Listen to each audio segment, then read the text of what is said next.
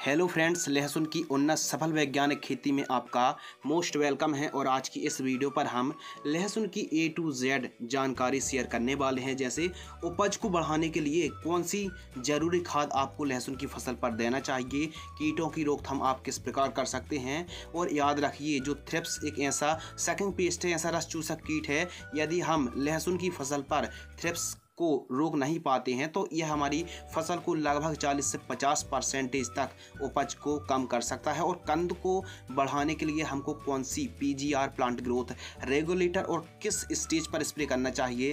पहली खाद और पहला स्प्रे हमको कौन सा छिड़काव करना चाहिए, जिससे हमारी लहसुन की फ़सल पर ज़्यादा से ज़्यादा उत्पादन बढ़ सके एवं अनुकूल समय, मौसम क्लाइमेट्स कंडीशन और किस प्रकार की मिट्टी पर लहसुन की फ़सल सबसे ज़्यादा उत्पादन निकाल सकते हैं एवं एवं उन्नत किस्मों के बारे में बात करेंगे एवं खाद का शेड्यूल स्प्रे शेड्यूल के साथ साथ प्रति एकड़ कितने बीज की आपको सीड्स की आवश्यकता पड़ने वाली है और लहसुन की फ़सल पर पीलापन की समस्या आती है तो कैसे आप रोकथाम कर सकते हैं और कंद के आकार साइज़ और क्वालिटी को आप कैसे बढ़ा सकते हैं एवं खेत की तैयारी किस प्रकार करना है एवं बेसल डोज पर कौन कौन सी खादों का कॉम्बिनेशन लेना है एवं लहसुन की क्रॉप की लाइफ साइकिल कितने दिन की यह फ़सल है और लहसुन की हर एक आने वाली समस्या का समाधान आपको एकदम सरल भाषा पर इस वीडियो के माध्यम से मिलने वाला है। तो नमस्कार दोस्तों, मैं हूँ आपका होस्ट एंड दोस्त शिव कुमार और भाई आप देख रहे हैं एडवांस एग्रीकल्चर यूट्यूब चैनल चलिए शुरू करते हैं।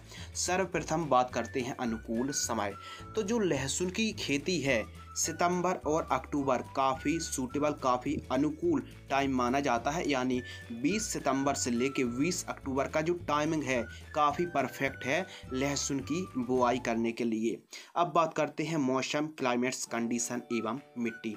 तो जो टेम्परेचर है, न्यूनतम टेम्परेचर लहसुन की फ़सल के लिए चौदह पंद्रह डिग्री सेल्सियस और अधिकतम टेम्परेचर पैंतीस छत्तीस डिग्री सेल्सियस काफ़ी वेस्ट माना जाता है। और इसके लिए जो प्रमुख रूप से पीली मिट्टी, काली मिट्टी, काली दोमट जलोड मिट्टी और मीडियम हल्की मिट्टी के साथ साथ जो मिट्टी है, उसकी पीएच वैल्यू 5.5 से 7.5 के आसपास हो, जल धारण की क्षमता अच्छी हो, यानी वाटर होल्डिंग कैपेसिटी अच्छी होनी चाहिए एवं उपयुक्त जीवाश पदार्थ वाली उपजाऊ भूमि पर आप अधिक से अधिक उत्पादन निकाल सकते हैं, लहसुन की खेती कर सकते हैं। अगले टॉपिक के ऊपर डिस्कशन करते हैं खेत की तैयारी, जो काफ़ी ज़्यादा ज़रूरी है। तो मीडियम गहराई में चलने वाले हल या फिर कल्टिवेटर तोता हल या फिर प्लाउ से आपको सर्वप्रथम पहली जुताई कराना है, खेत तैयार करना है। एवं बेसल डोज पर आपको कौन कौन सी खादें देना है, कृपया इस टॉपिक को ध्यान से सुनिए और समझिए।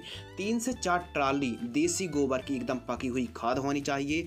पचास kilogram DAP di ammonium phosphate, पचास किलोग्राम और 100 किलोग्राम एस एस पी यानी सिंगल सुपर फास्फेट, जिसमें फास्फोरस के साथ साथ सल्फ़र की भी पूर्ति हम अपनी लहसुन की फ़सल पर करने वाले हैं। तो एसएसपी पाउडर फॉर्म वाली 100 किलोग्राम और 30 किलोग्राम एमओपी अब जो एमओपी 60 परसेंट वाली आती है MOP muriate of potash 30 kilogram लेना है और उपयुक्त सभी खादों को मिक्स करके यदि आपकी लहसुन की फ़सल पर स्पेशल रूप से यदि जड़ों पर कोई समस्या आती है या फिर जड़ों को काटने वाले कीटों का प्रकोप है तो आप fipronil zero point three percent, Regent G को पाँच किलोग्राम, इसी कॉम्बिनेशन को मिक्स करके उपयुक्त सभी खादों को पूरे खेत में बिखेर कर रोटोवेटर की सहायता से खेत को समतल कराइए। अगले टॉपिक के ऊपर डिस्कशन करते हैं, लहसुन की उन्नत किस्में। जो लहसुन की उन्नत किस्में हैं, ऊटी लहसुन जी टू रिया वन, विदिशा, अमेठा और एलिफेंटा जैसी वेराइटी को आप लगा सकते हैं। अब जो ऊटी लहसुन की बुआई की ज़्यादातर हमारे एरिया में ऊटी लहसुन को लगाया जाता है। तो इसकी यानी ऊटी लहसुन की बुआई थोड़ी जल्दी हो जाती, यानी एक सितंबर से पंद्रह सितंबर के आसपास की जो टाइमिंग है, ऊटी लहसुन के लिए काफ़ी परफेक्ट मानी जाती है और सीड्स रेट ऊटी लहसुन का दस हज़ार, बारह हज़ार रुपये प्रति क्विंटल के आसपास चल रहा है। ऊटी लहसुन भी काफ़ी ज़्यादा लगाई जाती है और यदि आप मार्केट से चार क्विंटल यानी बॉल्व कंदों को लाते हैं तो 150 से 160 केजी कलियाँ ही निकलने वाली हैं, जो कि एक एकड़ में रोपाई की जाती है। और वहीं यदि आप जी टू लहसुन को लगाते हैं तो इसका जो मार्केटिंग रेट है, यदि आप लगाते हैं तो सात हज़ार से आठ हज़ार रुपये क्विंटल के आसपास जी टू लहसुन का मार्केटिंग प्राइस चल रहा है तो आप कौन सी वेराइटी लगाते हैं और आपने अधिकतम कितना उत्पादन निकाला है लहसुन की फ़सल से? आप कमेंट सेक्शन में ज़रूर बताएँ। फ्रेंड्स, बात करते हैं प्रति एकड़ सीड्स की आवश्यकता, यानी एक एकड़ में कितनी कलियाँ लगती हैं? तो 150 से 160 किलोग्राम प्रति एकड़ की दर से कलियों की आवश्यकता होती है यदि मीडियम साइज़ की कलियाँ हैं तो। अब प्लांट जो डिस्टेंस है, यानी सोइंग का जो डिस्टेंस है, कृपया ध्यान दीजिए, पौधे से पौधे का जो डिस्टेंस है तीन से चार इंच रखना है और लाइन से लाइन का जो डिस्टेंस है, पाँच से सात इंच आप रख सकते हैं और दो से ढाई इंच गहराई पर आप बुआई कर सकते हैं। बुआई की जो मेथड है अलग अलग विधियों से रोपाई की जाती है, यानी बुआई की जाती है। तो हाथों से एवं मशीनरी या फिर सीड्रिल मेथड से भी आप बुआई कर सकते हैं। जिस प्रकार सोयाबीन और मूंगफली की बुआई की जाती है, उसी सीड्रिल से आप बुआई कर सकते हैं। अगले टॉपिक के ऊपर डिस्कशन करते हैं बीज उपचार, जो काफ़ी ज़्यादा ज़रूरी है, क्योंकि यदि आप सीड्स ट्रीटमेंट नहीं करते हैं बीज उपचार नहीं करते हैं तो जड़ संबंधित फफूंदी जनित रोगों का प्रकोप आपको देखने के लिए मिल सकता है। तो आप जैसी बुआई करते हैं, स्वस्थ जर्मिनेशन स्वस्थ ग्रोथ देखने के लिए मिले और फफूंदी जनित रोग ना आए तो आपको बीज उपचार ज़रूर करना चाहिए। यदि आपके खेत में जड़ संबंधित फंगस कम आते हैं तो आप कार्बेंडाजम बारह परसेंट प्लस मैंको तिरसठ परसेंट जो डब्ल्यू फपून नाशक आती है, उसको आपको एक किलोग्राम बीजों को, कलियों को, पाँच ग्राम फपून नाशक से बीजों को उपचार करना चाहिए। लेकिन कुछ ऐसे एरिया हैं, इलाके हैं या फिर कुछ किसान भाइयों की ऐसे खेत हैं जहाँ काफ़ी ज़्यादा फंगस आते हैं तो ऐसी सिचुएशन पर आप बारह किलो स्ट्रोबेन पाँच परसेंट प्लस थायोपेनेट मेथाइल पैंतालीस परसेंट जो एफ़ एस फॉर्म में आती फफूंदनाशक को एक किलोग्राम सीड्स को आप दो एम की दर से बीज उपचार कर सकते हैं। इसके अलावा बुआई आपको करनी चाहिए। अगला टॉपिक खरपतवार की रोकथाम, जो कि लहसुन की फ़सल पर काफ़ी इंपोर्टेंट टॉपिक्स है। खरपतवार की रोकथाम आप दो विधियों से कर सकते हैं। एक तो रासायनिक विधि और एक श्रम विधि, लेबर मजदूरों की सहायता से। ज़्यादातर रासायनिक विधि के लिए हम आपको बता रहे हैं, जहाँ तक पॉसिबल हो तो मजदूरों, लेबर की सहायता से ही आपको खेत से खरपतवार को बाहर निकलवाना चाहिए, निंदाई गोड़ाई आपको करवाना चाहिए। वैसे रासायनिक विधि कौन सी है कि प्री इमर्जिंग हार्बिसाइड यानी बुआई जैसी आपने की एक से दो घंटे बाद आप पेंडा मैथिलीन तीस परसेंट ई को एक लीटर 200 लीटर पानी में घोल करके आपको छिड़काव करना चाहिए। कब करना चाहिए? जैसे आपने रोपाई की है, उसके एक से दो घंटे बाद ही आप पेंडा मैथिलीन तीस परसेंट ई को स्प्रे कर सकते हैं। अब कोई ज़्यादा महँगा नहीं है, पेंडा मैथिलीन एक लीटर की कीमत मार्केट में छः सौ के आसपास उपलब्ध हो जाती है। यदि मान लीजिए आपने लहसुन की बुआई करते समय पेंडा मैथिलीन का स्प्रे नहीं कर पाए हैं तो आप पोस्ट एमरजेंट हार्बिसाइड का भी स्प्रे कर सकते हैं। यानी लहसुन की फ़सल बुआई से जब 25 से 30 दिन की हो गई हो या फिर लहसुन की फ़सल पर खरपतवार तीन, चार, पाँच पत्ती के दिख रहे हों, तब आप पोस्ट एमरजेंट खरपतवार नाशक का स्प्रे कर सकते सकते हैं।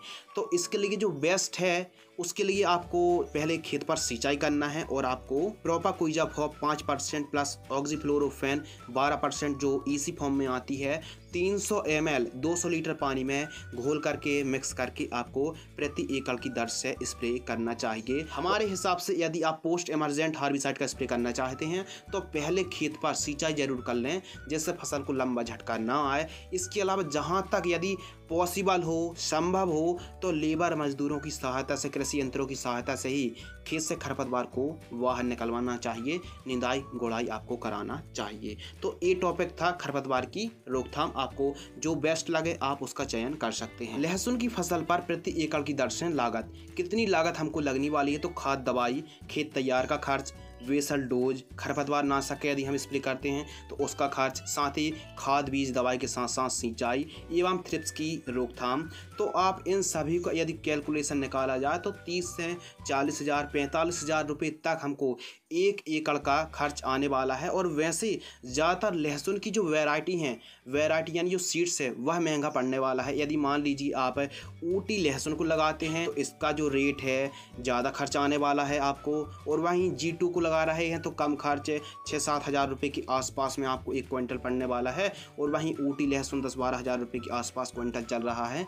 तो जैसी आप वेराइटी लगाने वाले हैं, उस हिसाब से आपको खर्च, लागत लगने वाली है, क्योंकि लहसुन की फ़सल पर ज़्यादातर जो सबसे ज़्यादा महँगा आता है, वो आता है सीड सी अगले टॉपिक के ऊपर बात करते हैं उत्पादन। तो आप एक एकड़ में 50 से लेकर 55 क्विंटल प्रति एकड़ की दर से उत्पादन निकाल सकते हैं, लेकिन इस वीडियो के माध्यम से हम ऐसी खाद दवाइयों के बारे में बताने वाले हैं, जो उत्पादन को और भी बढ़ाने वाली हैं, उपज को और भी ज़्यादा इंक्रीज करने वाली हैं तो इस वीडियो को यदि आपने अभी तक लाइक नहीं किया है तो वीडियो को लाइक ज़रूर कर देना और इस वीडियो को अंत तक ज़रूर देखना, क्योंकि इस वीडियो पर हम आ गए ऐसे खाद का शेड्यूल स्प्रे शेड्यूल बताने वाले हैं, जो लहसुन की फ़सल पर सस्ते पर चार चाँद लगाने वाले हैं। तो बने रहिए इस वीडियो पर, बात करते हैं अगले टॉपिक के बारे में लाइफ साइकिल तो लहसुन की जो फ़सल है बुआई से एंड तक हार्वेस्टिंग तक, चार महीने इस फ़सल को तैयार होने में लगते हैं। यानी 120 दिन से लेके 125 दिन पर यह फ़सल एकदम परिपक्व हो जाती है, एकदम पूरी तरह तैयार हो जाती है हार्वेस्टिंग के लिए।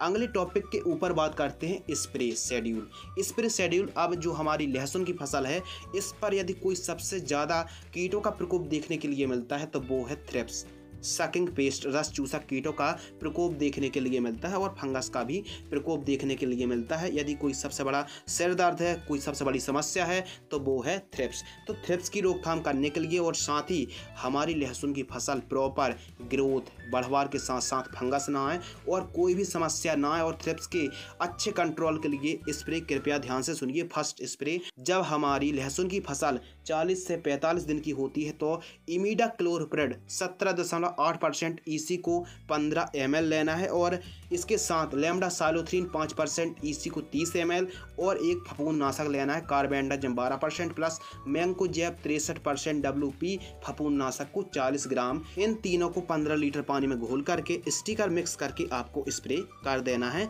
एथा आपकी फ़सल पर फ़र्स्ट स्प्रे सेकंड स्प्रे तो जब लहसुन की फ़सल सेकंड स्प्रे कर रहे हैं, सत्तर से अस्सी दिन की होती है तो ध्यान दीजिए, imidacloprid forty percent plus fipronil forty percent का जो कॉम्बिनेशन आता है छः से सात ग्राम लेना है और profenofos forty percent plus cypermethrin four percent EC को पच्चीस एम लेना है और इसके साथ आपको मिक्स करना है। कैप्टन सत्तर परसेंट प्लस हेक्साक्रोनोजोल का जो कॉम्बिनेशन आता है डब्ल्यू पी फपूनाशक को आपको लेना है चालीस ग्राम।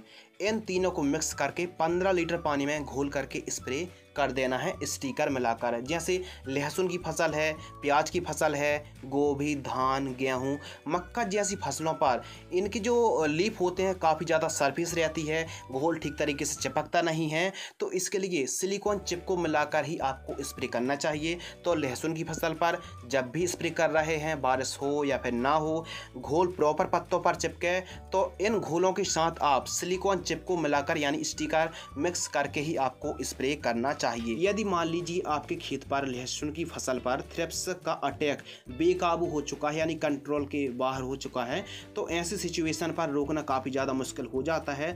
तो उसके लिए एक ही उपाय बचता है, इस कॉम्बिनेशन को आप स्प्रे ले सकते हैं, लेकिन कब स्प्रे लेना है जब आपकी लहसुन की फ़सल पर थ्रेप्स बेकाबू हो जाए कंट्रोल के बाहर हो जाए तो आप इस कॉम्बिनेशन को स्प्रे कर सकते हैं, वरना कोई ज़रूरत नहीं है। डेलीगेट पाँच से छः एम प्लस घरडा का पुलिस आता है या फिर लेजेंटा आता है, दस ग्राम, इन दोनों को मिक्स करके स्टिकर मिक्स करके आप स्प्रे कर सकते हैं पंद्रह लीटर पानी में घोल करके। लहसुन की फ़सल पर थर्ड स्प्रे तो जब हमारी लहसुन की फ़सल अस्सी से पचास दिन की होती है तो हमको तीसरे स्प्रे पर एक ऐसी पीजीआर यानी प्लांट ग्रोथ रेगुलेटर का स्प्रे लेने वाले हैं, जो कंद वॉल्व के साइज़ को काफ़ी ज़्यादा बढ़ा देगी, काफ़ी ज़्यादा इंक्रीज कर देगी, काफ़ी ज़्यादा चमक और क्वालिटी और ब्राइटनेस को बढ़ा देगी। तो 80 से 50 दिन की लहसुन की फ़सल होती है तो कंद को बढ़ाने के लिए और चमक को बढ़ाने के लिए पैक्लो बूटरा जो जो तेईस परसेंट एस आती है, आठ एम लेना है और बोरॉन वी ट्वेंटी परसेंट वाली को पच्चीस ग्राम लेना है। और इसके साथ आपको एक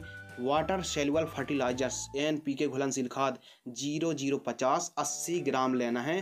इन तीनों को मिक्स करके पंद्रह लीटर पानी में स्टीकर मिक्स करके स्प्रे कर दीजिए, जो कंद का साइज़ बॉल्ब का साइज़ है, वो काफ़ी ज़्यादा बढ़ने वाला है ग्रोथ करने वाला है और स्टोरेज क्षमता भी बढ़ जाएगी। एवं जो बोरोन है, यह स्टोरेज क्षमता को बढ़ाने के लिए और कैल्शियम जो हम आपको आगे बताने वाले हैं कैल्शियम से स्टोरेज क्षमता काफ़ी ज़्यादा इन्हेंस होती है, काफ़ी ज़्यादा बढ़ जाती है। अगले टॉपिक के ऊपर बात करते हैं खाद का शेड्यूल तो पहली खाद, उत्पादन और उपज को बढ़ाने के लिए हम सस्ते से सस्ती खाद दवाइयों के बारे में बताने वाले हैं।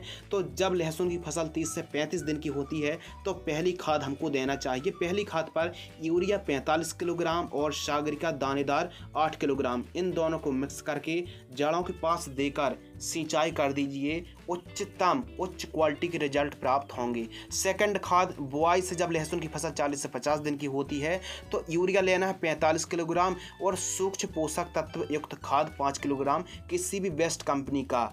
इनके साथ आपको एक कीटनाशक को मिक्स करना क्लोरपारीफास को लेना है एक लीटर। तो क्लोरपारीफास से क्या होगा कि जो जड़ों को काटने वाले कीट हैं उनको आप बड़े ही आसानी से कंट्रोल कर सकते हैं। क्लोरपारीफास एक लीटर। इसी कॉम्बिनेशन के साथ मिक्स करके आपको जड़ों के पास देकर सिंचाई कर दीजिए। तो जो क्लोरपारीफास है, जड़ संबंधित रोगों को नहीं आने देता है। थर्ड खाद तो तीसरी खाद। जब लहसुन की फ़सल पैंसठ से सत्तर दिन की होती है तो तीसरी खाद पर हम कैल्शियम नाइट्रेट 25 किलोग्राम प्रति एकड़ की दर से जड़ों के पास देकर सिंचाई करने वाले हैं। तो लहसुन की फ़सल पर एथा खाद का शेड्यूल, तीन खाद देने वाले हैं, जो हमारी फ़सल पर काफ़ी अच्छा उपज उत्पादन वनस्पतिक बढ़वार को बढ़ाने वाली है। जब फ़सल पककर तैयार हो जाए तो आपको सिंचाई बंद कर देना चाहिए एवं फ़सल उखाड़ कर दस से बारह दिनों तक वहीं खेत पर पड़ी रहने दें और दस से बारह पंद्रह दिनों की तेज़ धूप ज़रूर लगवाएँ। नेक्स्ट टॉपिक के ऊपर बात करते हैं मुनाफा। तो जो मुनाफा बेनिफिट है, ये काफ़ी ज़्यादा डिपेंड करता है उत्पादन क्वालिटी और रेट पर। इन तीन चीज़ों पर काफ़ी ज़्यादा फोकस रहता है। यदि क्वालिटी अच्छी है रेट अच्छा है तो आपको काफ़ी अच्छा बेनिफिट होने वाला है। दो लाख रुपए से ढाई लाख रुपए आप प्रति एकड़ की दर से कमा सकते हैं। यह जो उत्पादन है, घट भी सकता है और बढ़ भी सकता है। काफ़ी ज़्यादा रेट पर और काफ़ी ज़्यादा क्वालिटी पर निर्भर करता है आमदनी। खाद का डोज बताया है, इस पर शेड्यूल बताया है। यदि कुछ इस प्रकार, यदि आप लहसुन की उन्नत तरीके तरीके से खेती करते हैं तो यकीन मानिए ज़्यादा से ज़्यादा उत्पादन प्रोडक्शन होने वाला है और आपकी लहसुन की फ़सल पर कोई भी कीट आसपास खेत के पास भटकने वाले नहीं है। तो फ्रेंड्स आज की इस वीडियो पर हमने लहसुन की उन्नत सफल खेती की ए टू जेड जानकारी शेयर की। यदि आपको यह वीडियो पसंद आती है तो वीडियो को ज़्यादा से ज़्यादा किसान भाइयों तक शेयर ज़रूर करें। वीडियो को लाइक करें। अधिक जानकारी के लिए आप हमारी website advance agriculture dot in पर विज़िट कर सकते हैं। फेसबुक पेज को लाइक कर सकते हैं। इंस्टाग्राम पर आप हमें फॉलो कर सकते हैं। तो मैं आपका होस्ट एंड दोस्त कुमार मिलते हैं। कुछ और इसी प्रकार ए टू जेड फ़सलों की जानकारी के साथ तब तक के लिए धन्यवाद, नमस्कार, जय जवान, जय किसान।